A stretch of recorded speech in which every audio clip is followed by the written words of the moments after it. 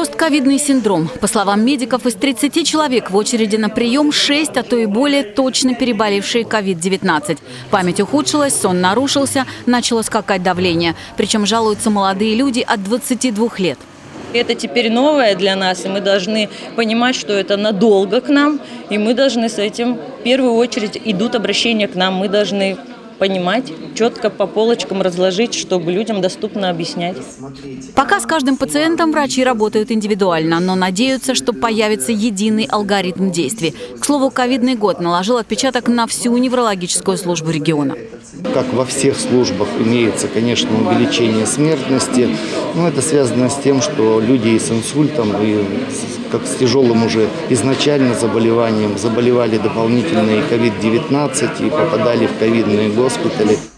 Проблема еще и в нехватке специалистов. Врачей не хватает в Бийске и Славгородском районе. Правда, последний недавно получил так необходимого невролога. Но свободных мест, по словам Сергея Федянина, достаточно, в том числе и в других больницах и поликлиниках края.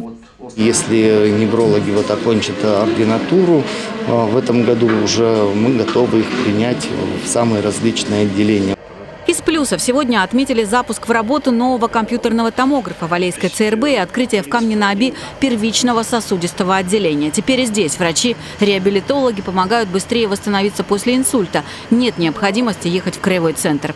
Ну а на повестке дня обсуждение лечения постковидного синдрома, в том числе со специалистами Питера и Москвы, которые тоже сегодня в Барнауле.